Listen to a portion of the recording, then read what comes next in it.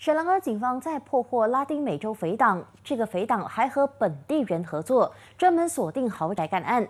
他们在干案之前会先光明正大在门口按门铃，确定屋内没有人之后再闯入干案。这群匪党透过这种方式，在巴生谷地区干下了多宗破门行窃案。在得手之后，所有的贼赃会由那些外国籍匪徒负责转卖，借此掩人耳目。警方三天前突击嫌犯在郊外地区承租的房子时，当场发现了大批贼赃，包括总值二十万令吉的珠宝首饰、一些假护照和其他破门行窃的工具。两名本地人和两名哥伦比亚嫌犯当场被捕。Kes-kes yang dilakukan ke kepecah rumah dilakukan ni adalah bersekitar di Lembah Kelang, di sekitar Lembah Kelang.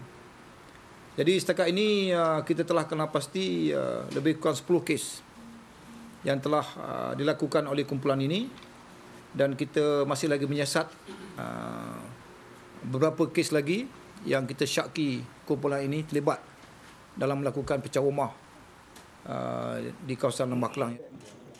警方相信，这个匪党已经在巴生谷地区横行了好几个月，在干案时还会使用假枪来恐吓被害人。被捕的嫌犯年龄介于二十七到五十六岁，警方相信他们还有其他的同党。